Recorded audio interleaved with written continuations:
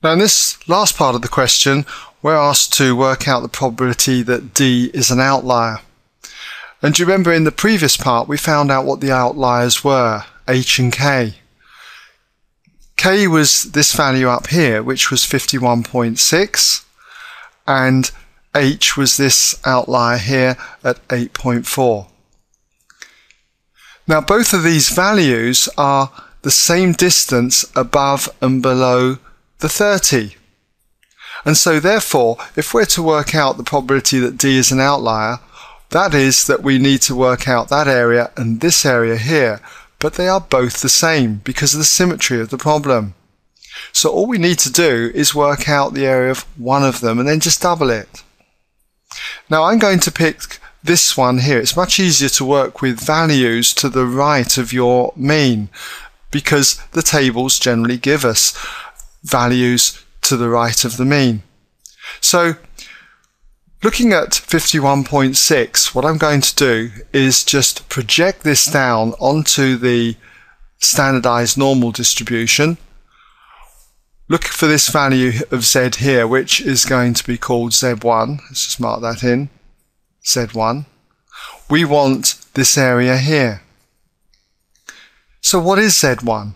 z1 is going to be worked out in the usual way. It's the observed value minus the mean all over the standard deviation. So in other words, it's going to be the observed value 51.6 minus the mean of 30 all divided by the standard deviation, which is 8. We can work this out, and if you do that, you get 2.7. If you were to work out what the z value of 8.4 was that corresponded with this observed value 8.4 by doing 8.4 minus 30 all over 8 you can try it if you like.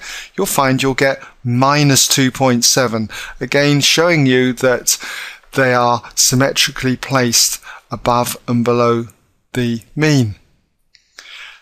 So now that we've got our value of z as being 2.7, we're 2.7 standard deviations above the mean. That's what that's telling us, okay? Then, if I'm to work out this, knowing that I've got my tables that give me area to the left of z, okay, not this one up here, what I can say is that the probability of d being greater than 51.6 is exactly the same as the probability of z being greater than the 2.7. Alright? But as I said earlier, the tables only give us area to the left here. But knowing that the whole area is 1, representing all the probabilities, I can do 1 minus the probability that z is less than 2.7. So that's going to be 1 minus whatever this value is. And if you look up in your tables, you'll see your tables then will just give you an extract again the usual way. We're going to have our z values here and the probability of z being less than z. Okay? Look in your tables, looking under 2.7, what you should see, it won't say 2.7 there, say it will say 2.70, you should find you get 0.9965. So that's the value that you want to pick, 1 minus 0.9965. And you work that out and you end up with 0.0035. Very small number as you'd expect because you're looking for the probability of being greater than an outlier. So very unlikely chance of that happening. Okay, so to answer the question, though, we want to know the probability that D is an outlier. So there's my intro, an outlier, and we know that that's going to be twice this value. Going to be two of these.